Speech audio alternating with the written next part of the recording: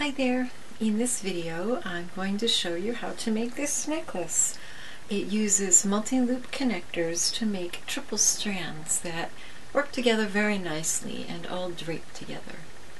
So to plan a necklace like this, one of these bead design boards is very helpful.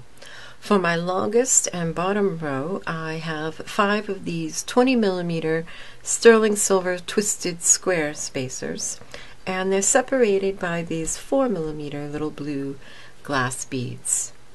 For the second row, I have these three lampwork beads. They're 12 millimeters, and I've put each one on an eye pin with two sterling silver corrugated saucer beads. They're 7.3 millimeters, and two more of those blue crystals. It just ties everything together.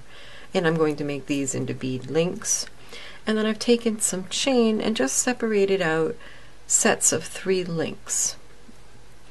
And then for my shortest and top row, I'm just going to have some of the same chain. So you can see by using similar elements in each one, it ties it all together.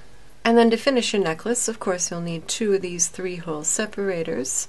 You'll need a bit more chain to go around the sides and the back, a clasp, two crimps, two crimp covers, and two wire protectors. So I already have these pieces strung on some bead stringing wire.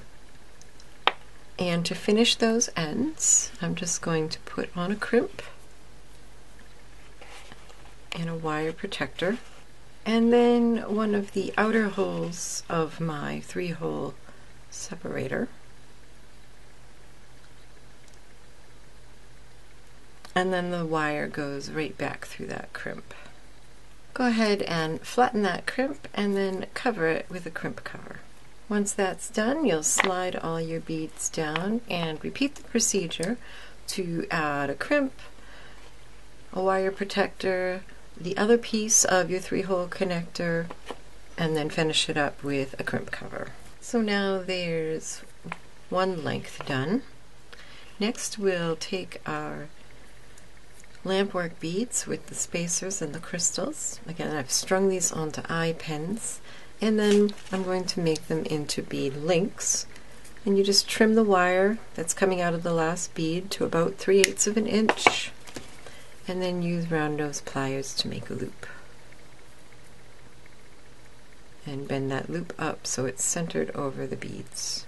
And repeat for your other two. Next use chain nose pliers to open a loop of one of your bead links and attach a bit of chain and then open the loop of another bead link and attach the other end of that piece of chain. and then repeat to link them all together and add a link to each end. And there's the middle strand all done. Now it was by design that I made this a little bit shorter than the lower one so that as it hangs they drape nicely inside one another. So to connect this, if you have soldered chain you'll have to use a jump ring but these links open. So I'm just going to use two pairs of chain nose pliers to open these and then attach them to the middle of my three hole connector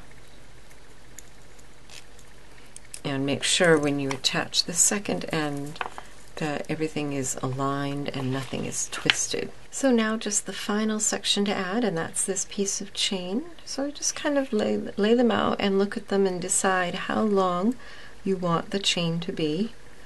I think I'm going to make it go from here to here. So I'll open up this link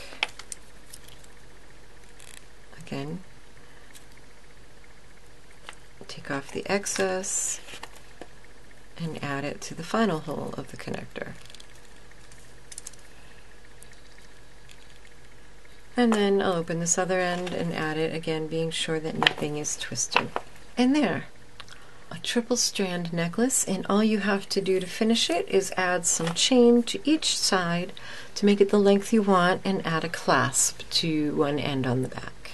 And there you have it, a really pretty triple strand necklace made much easier by the use of these three hole connectors. And by the way, the lamp work, the crystals, and the sterling silver spacers are all available from House of Gems. Happy creating. Bye bye.